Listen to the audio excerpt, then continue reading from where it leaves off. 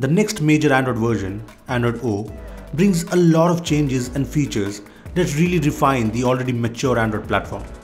However, if you have been wondering about when your device will get the Android O update, well, let me tell you that the wait can be pretty long. In fact, very very long. Don't worry, you don't have to wait to try out the new Android O features.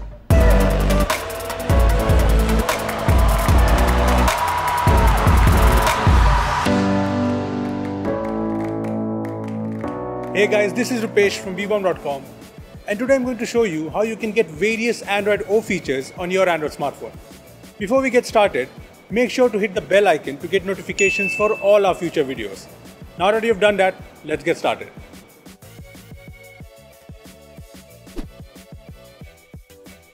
As of now, the Android O beta has only introduced one new wallpaper, which shows you a cool new view of the earth.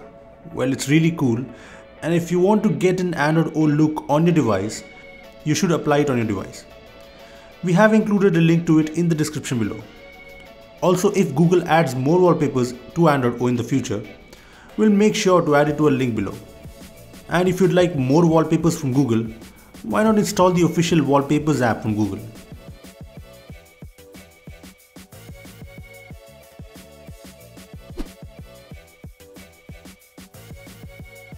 The launcher on Android O is just the Pixel launcher that was introduced with the Pixel devices last year. While you can install the Pixel launcher extracted from the Android O preview, we'll suggest you to use the Nova launcher to get the same look on your device.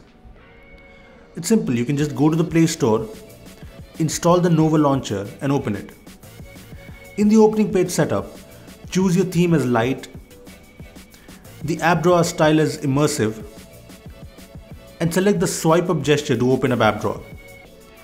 Now just head to Nova settings and change the Google search widget to the one in the Pixel launcher. Also make sure to install the Pixel icon pack and apply it from settings, look and feel. Now you can just set the Nova launcher as the default home screen and you will see the same Android O-esque home screen and app drawer. And it looks really cool.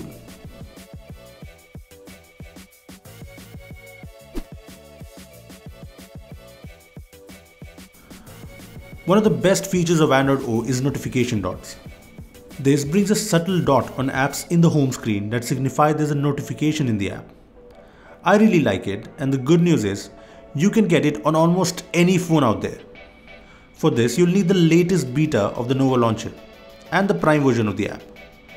I'll leave a link to the Nova Launcher Beta APK in the description below. Then go to Nova settings. Here scroll down and tap on the notification badges option. Here just choose dots from the different styles available. Also set the position of the dot to the top right and select the size as medium to match the notification dots from Android O. Well, there you have it. You now have the Android O style notification dots on your device. Now this looks good and is pretty useful.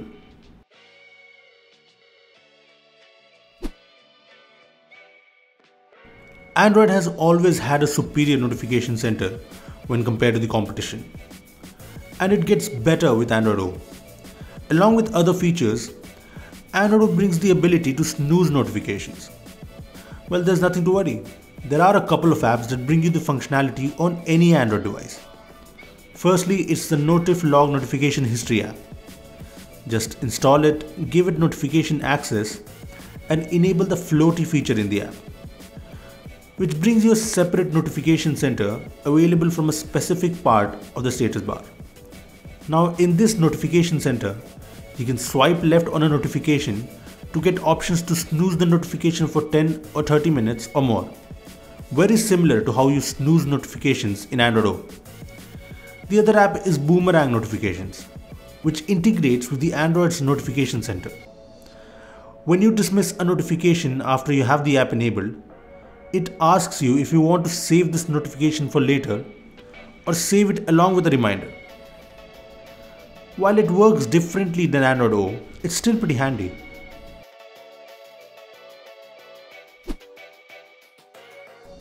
Android O has a cool hidden trick in the system UI tuner page which lets you add additional buttons to the navigation bar. While the Android O feature isn't very mature, we have the great custom navigation bar app which lets you set customized additional buttons. You'll first have to set up the app though, so make sure you have ADB on your PC or Mac.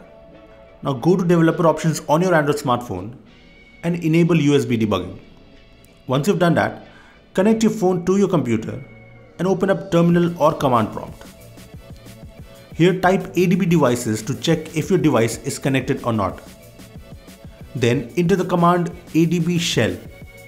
After that, enter the command shown in the app to give the app write secure settings permission. Don't worry, I'll leave all the commands and the link to ADB in the description below. After you're done, the custom navigation bar should open up and here you can just go to the navigation bar option. Here you'll find options for extra left button and an extra right button. You can choose the action for these buttons like open notification shade, launch app, etc. There are a lot of options here. You can also select an icon for it and even choose a double tap action. These additional buttons on the navigation bar should come in very very handy.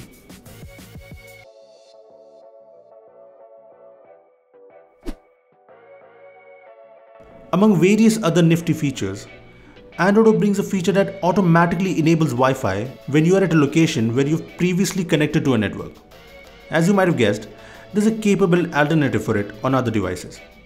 The Smart Wi-Fi Toggler app not only automatically enables Wi-Fi when you are near a known network, it also automatically disables Wi-Fi when you move away from the network range, thus saving battery as well as your mobile data bandwidth.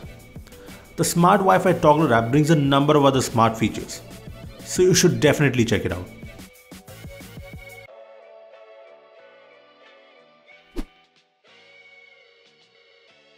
Yes, Android O finally brings a picture-in-picture mode to Android so that you can easily watch videos from YouTube and other app in a floating window while multitasking with ease. However, there are a number of apps that bring the same functionality on other versions of Android. I like the Float Tube Video Player app. The app lets you play YouTube videos in a floating window so that you can easily play a YouTube video while multitasking through different apps.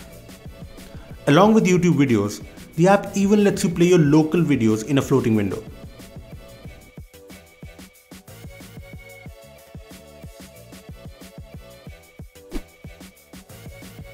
Google has finally brought new emojis to Android. With Android O packing emojis that have a similar circular look that is standard across other platforms and messaging apps. However, if you can't wait to get the emojis on your phone, you can flash a zip file through a custom recovery on your rooted device and get all the new Android emojis right now. Once you flash the zip on your rooted Android smartphone, the new Android emojis will replace your current Android emojis. I'll leave a link to the flashable zip file in the description below.